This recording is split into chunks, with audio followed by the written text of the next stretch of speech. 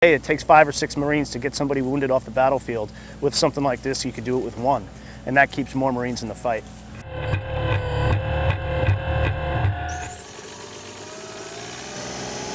We are testing out the LS3.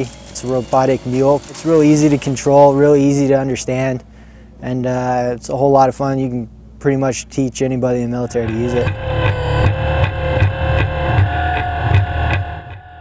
They're walking through just simple patrol maneuvers uh, with the machine to see where what its limits are and, and where, where it makes most sense for it to be uh, when the squad is on patrol.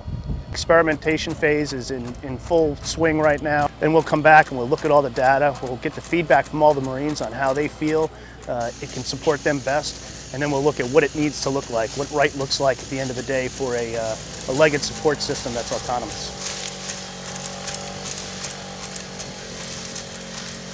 We ultimately wanted to support Marines in the field.